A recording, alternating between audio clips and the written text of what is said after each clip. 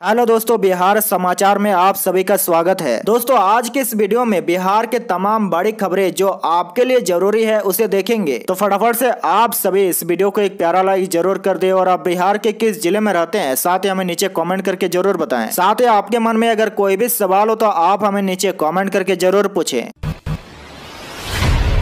चलिए, आज की पहली खबर, बिहार में मोबाइल व ईमेल पर भेजे जाएँगे चरित्र प्रमाण पत्र।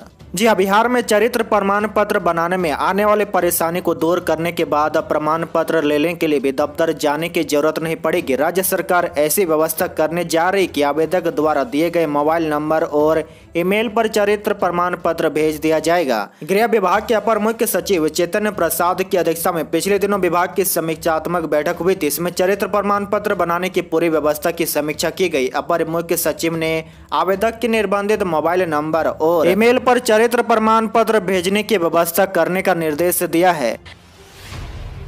बड़ी खबर देखिए, दो दिन के दौरे पर अमित शाह बिहार में बरसे। बोले, लालू नीतीश के जंगल राज से डरना नहीं, ऊपर मोदी सरकार है। जी हाँ केंद्रीय गृह मंत्री अमित शाह ने बिहार के दो दिन के दौरे की धमाकेदार शुरुआत पूर्णिया में जन भावना रैली से की है और सीधे नीतीश कुमार और लालू यादव को चुनौती देते हुए कहा की इनसे डरना नहीं है। अमित शाह ने कहा की जब से लालू यादव नीतीश कुमार की सरकार में जुड़ गए हैं, जब से नीतीश कुमार लालू यादव की गोद में जाकर बैठ गए हैं तब से जो डर का माहौल खड़ा हुआ है, उसे किसी को डरने की ज़रूरत नहीं है।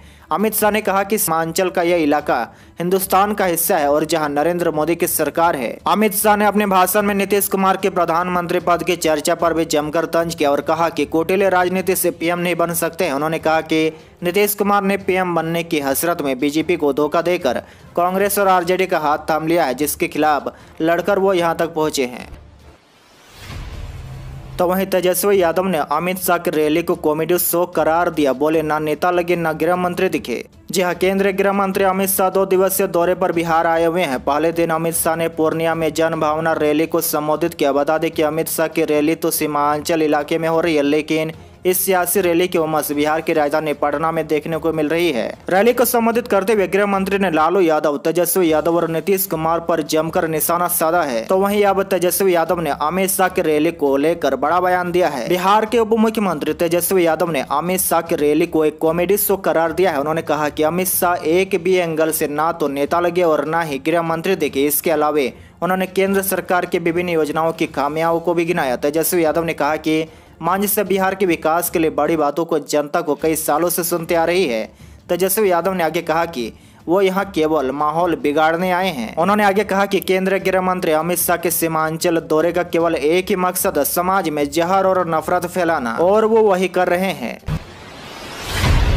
बड़ी खबर में देखिए, अमित शाह ने सीमांचल को दी बड़ी सौगात, कहा, अब आप भी लेंगे सस्ते हवाई उड़ान की मज़ा। जी हाँ गृह मंत्री अमित शाह ने पूर्णिया में अपने सभा में सीमांचल समर्थ करते हुए कहा कि सीमांचल के लोग अब सस्ती दर पर हवाई उड़ान भरेगा। उन्होंने कहा कि पूर्णिया में हवाई अड्डा लगभग बन गया है। सस्ते हवाई जहाज़ में बारह ज़िले के लोग जाएँगे। उन्होंने कहा की एन एच के दोहरीकरण, पूर्णिया, खगड़िया एन एच दोहरीकरण, किशनगंज में बाईपास, सीमांचल झारखण्ड को जोड़ने वाला छह किलोमीटर लंबा चार लेन पर गंगा का पुल, गलगलिया, अररिया, सुपौल, रेलखंड कार्य समेत कई योजनाएँ हैं जो यह दर्शाती है कि सीमांचल के विकास के लिए केंद्र कितना तत्पर है। साथ ही गृह मंत्री अमित शाह ने कहा कि भाजपा ने वादा किया था कि बिहार के विकास के लिए एक लाख पच्चीस हज़ार करोड़ देंगे। प्रधानमंत्री नरेंद्र मोदी के आठ साल के कार्यकाल के दौरान वायदे से अधिक बिहार के विकास पर एक लाख पैंतीस करोड़ का हिसाब लेकर आया हूँ। उन्होंने कहा की नीतीश बाबू, अपना हिसाब दीजिए, कुर्सी बचाने के अलावा क्या किया? बिहार के घरों में हमने शत प्रतिशत बिजली दी। माँ बहनों को गैस सिलेंडर,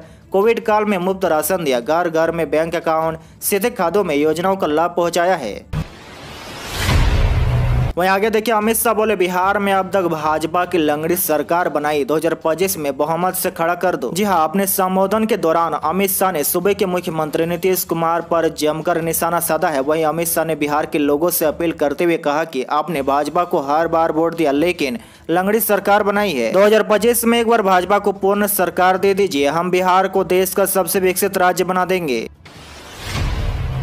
बड़ी खबर में देखिए, बिहार में भारी बारिश की चेतावनी। इन जिलों में वज्रपात को लेकर अलर्ट। जी हाँ बिहार में ठनके का कहर जारी रहेगा। लोगों को इससे बचने की चेतावनी दी गई है। दरअसल, बंगाल और ओडिशा में कम दबाव का क्षेत्र बना हुआ है। इसमें प्रदेश की हवा में नमी की मात्रा कुछ बढ़ी हुई है। गर्मी भी अच्छी खासी है। ऐसे में अगले तीन चार दिन प्रदेश के विभिन्न इलाकों में मेघ गर्जन के साथ ही ज़बरदस्त ठंड के आसार बने हुए हैं। ऐसे में अगले तीन चार दिन प्रदेश के विभिन्न इलाकों में मेघ गर्जन के साथ ज़बरदस्त ठंड के आसार बने हुए हैं। ठंडके को लेकर प्रदेश भर में अलर्ट जारी है। आईएमडी पटना के मुताबिक गया और रोहतास के साथ साथ इसके निकटवर्ती क्षेत्रों में अगले 48 घंटे के दौरान भारी से भारी बरसात की आशंका है। इसे लेकर मौसम विज्ञान विभाग ने चेतावनी भी दी है। आपको जानकारी के लिए बता दें कि अगले दो से तीन दिन के दरमियान बिहार पूर्वैया हवा की रफ्तार पच्चीस से तीस किलोमीटर प्रति घंटे तक पहुँच सकती है। बंगाल के खाड़ी से लेकर पश्चिम बंगाल, ओडिशा में बने कम दबाव के क्षेत्र की वजह से यह मौसमी दशा बन रही है। फ़िलहाल, जुलाई अगस्त में बिहार में हुई कम बरसात की पूर्ति सितंबर माह में धीरे धीरे हो रही है। अगले सितंबर में अभी तक 160 मिलीमीटर बारिश हुई थी। बीस सितंबर तक प्रदेश में छह सौ छियालीस मिलीमीटर बारिश दर्ज की जा चुकी है। बड़ी खबर देखिए, दिवाली यानी छठ को लेकर दरभंगा जयनगर से चलेगी ट्रेन। 17 अक्टूबर से 10 नवंबर तक। जी हाँ दीपावली व छठ को लेकर ट्रेन की डिमांड को देखते हुए रेलवे ने दो पूजा स्पेशल ट्रेनें चलाने की घोषणा की है। ये दोनों गाड़ियाँ दिल्ली के लिए अगले महीने से चली चलेगी एक ट्रेन नई दिल्ली से दरभंगा के लिए सत्रह अक्टूबर से दस नवंबर के बीच जहाँ चलेगी, वहीं दूसरी गाड़ी आनंद विहार टर्मिनल से जयनगर के बीच 18 अक्टूबर से 12 नवंबर के बीच चलाई जाएगी। हालाँकि त्यौहार के मौके पर घर लौटने वाले परदेशियों की भीड़ को देखते हुए ये दोनों गाड़ी काफ़ी नहीं है, कारण दोनों ट्रेनों को सप्ताह में दो दिन चलाई जाने की योजना है। रेलवे की ओर से जारी सूचना के अनुसार train number zero one six seven zero, special train सत्रह अक्टूबर से दस नवंबर के बीच प्रत्येक सोमवार व गुरुवार को शाम साढ़े सात बजे में नई दिल्ली से ट्रेन के लिए खुलेगी। वहीं दरभंगा से ट्रेन संख्या zero one six six nine, special train प्रत्येक मंगलवार और शुक्रवार को अठारह अक्टूबर से ग्यारह नवंबर के बीच परिचालित होगी। दरभंगा से शाम छह बजे खुलने वाली वाली या गाड़ी। अगले दिन शाम चार बजकर चालीस मिनट में यात्रियों को नई दिल्ली पहुंचाएगी। इसी तरह आनंद बिहार से train number zero one double six eight Puja special 18 अक्टूबर से 11 नवंबर के बीच प्रत्येक मंगलवार और शुक्रवार को पूर्वाहन दस बजकर तीस बजे रवाना होगी। इसके विपरीत ट्रेन संख्या zero one double six seven Jaynagar Anand Vihar का परिचालन उन्नीस अक्टूबर से बारह नवंबर के बीच प्रत्येक बुधवार और शनिवार को होगा। जयनगर से अपराहन तीन बजकर तीस मिनट बजे खुलने वाली यह ट्रेन अगले दिन शाम सात बजे यात्रियों को आनंद बिहार टर्मिनल पहुंचाएगी। बड़ी खबर में देखिए, बिहार के राज्यपाल फागू चौहान की तबियत बिगड़ी। एयर एंबुलेंस के ज़रिए पटना से दिल्ली रेफर। जी हाँ बिहार के राज्यपाल फागू चौहान की तबियत अचानक बिगड़ गई है। उन्हें गुरुवार देर रात पटना स्थित आईजीआईएमएस अस्पताल में भर्ती कराया गया। उन्हें बेहतर इलाज के लिए एयर एंबुलेंस के ज़रिए पटना से दिल्ली ले जाया जा रहा है। दिल्ली के एम्स में उनका इलाज हो सकता है। बता दें कि फागू चौहान साल दो से बिहार के राज्यपाल है। चौहत्तर साल के चौहान मूल रूप से उत्तर प्रदेश के रहने वाले हैं। उनका जन्म उन्नीस सौ अड़तालीस में यूपी के आजमगढ़ में हुआ था। यूपी के सत्रहवें विधानसभा चुनाव में वह सबसे ज़्यादा मतों से जीतने वाले विधायक थे। खबर में देखिए, डिप्टी सीएम तेजस्वी यादव का बड़ा ऐलान। स्वास्थ्य विभाग में मिलेगी डेढ़ लाख नौकरियाँ। जी हाँ बिहार के डिप्टी सीएम तेजस्वी यादव ने आरजेडी राज्य परिषद की बैठक में कहा कि अब राजद में संगठन की भूमिका अहम होगी। उन्होंने मंत्रियों से कहा कि जिलों में अब जिला अध्यक्ष सबसे अधिक महत्वपूर्ण होंगे। विधायकों और मंत्रियों को जिला अध्यक्षों की राय की तवज्जो देनी होगी। जिलों में वे ही सब कुछ है। पार्टी के ढांचे में मंत्री और विधायक महाज एक सदस्य, इससे ज़्यादा कुछ नहीं है। डिप्टी सीएम ने कहा की पार्टी के बैनर और पोस्टर पोस्टर पर राजद कार्यालय में संत रविदास और कबीर के चित्र लगाए। उन्होंने बताया कि अगले स्वास्थ्य विभाग में डेढ़ लाख नौकरियाँ दी जाएगी। खबर में देखिए, अक्टूबर महीने से बिहार में बालू खनन 28 जिलों में शुरू होगा काम। जी हाँ बिहार में बालू की कीमत भले ही आसमान छू रही हो, लेकिन अगले महीने से राज्य में इसकी किल्लत दूर हो जाएगी। दरअसल 31 सितंबर तक बालू की खनन पर एनजेडी के गाइडलाइन के मुताबिक रोक लगी हुई है, लेकिन अक्टूबर महीने से बालू खनन का काम शुरू हो जाएगा। बिहार के अट्ठाईस जिलों के तकरीबन नौ सौ बालू घाटों पर अक्टूबर से बालू खनन शुरू होगा। मई 2022 तक केवल 16 जिलों में करीब 435 बालू घाटों से ही बालू का खनन हो रहा था। अभी बालू खनन पर एनजीटी की रोक लगी है। इसके तहत इकतीस सितंबर तक बालू का खनन नहीं होना है। नदियों में तीन मीटर से अधिक की खुदाई नहीं हो सकेगी। सरकार ने खनन की सीमा तय कर दी है। इतना ही नहीं, नदियों के जलस्तर या तीन मीटर में जो कम होगा, वही खनन की सीमा होगी। इसके अलावा 300 मीटर के दायरे में ही बालों का भंडारण कर सकेंगे।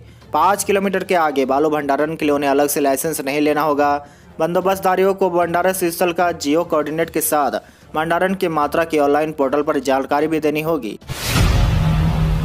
बड़ी खबर में देखिए, बिहार में पुलिस अफसरों और जवानों की छुट्टियाँ कैंसिल। दुर्गा पूजा में सख्त सुरक्षा व्यवस्था करने को लेकर मुख्यालय ने जारी किया आदेश। जी हाँ बिहार में पुलिस अफसर और जवानों की छुट्टियाँ कैंसिल कर दी गई है। इस बारे में एक आदेश बिहार पुलिस मुख्यालय की ओर से जारी किया गया है।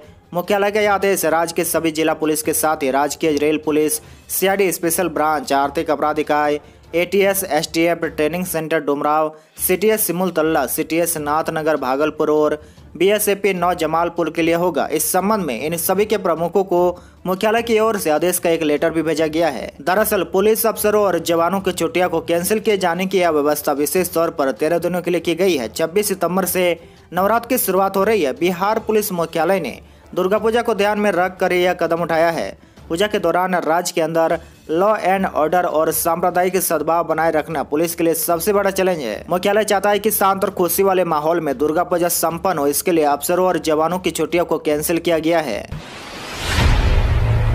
खबर में देखे, नीतीश कुमार का बड़ा फैसला। बिहार में सरकारी कर्मियों को इस माह छब्बीस को मिलेगा वेतन। जहाँ राज्य सरकार प्रदेश के चार लाख से अधिक राज्य कर्मियों को इस बार दशहरा और अन्य पर्व को देखते हुए 26 सितंबर से ही वेतन का भुगतान शुरू कर दिया जाएगा।